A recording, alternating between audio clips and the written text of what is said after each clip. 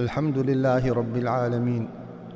يقول الله سبحانه وتعالى ولله الأسماء الحسنى فادعوه بها.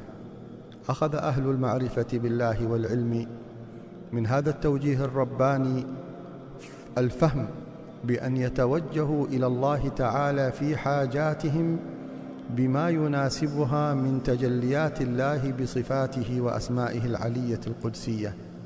فما نحن فيه هذه الأيام من نزول الوباء وحصول البلاء.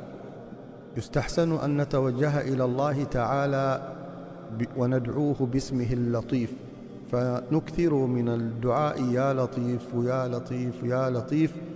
وأهل العلم استحسنوا الإكثار من هذا الاسم في مثل هذه الأحوال بأن يأتي كل مسلم بألف أو بحساب الجمل الصغير أو الكبير 129 مرة أو بالحساب الكبير 16 و641 مرة فإذا توجهنا نحن وإخواننا المسلمون في كل مكان بهذا النداء والضراعة إلى الله تعالى فنرجو أن يكون ذلك سببا عظيما لكشف هذا البلاء خصوصا إذا اجتمعت قلوبنا واجتمعنا نحن وإياكم عبر هذه الحملة المباركة في المشارق والمغارب بدعائه سبحانه وتعالى في علاه.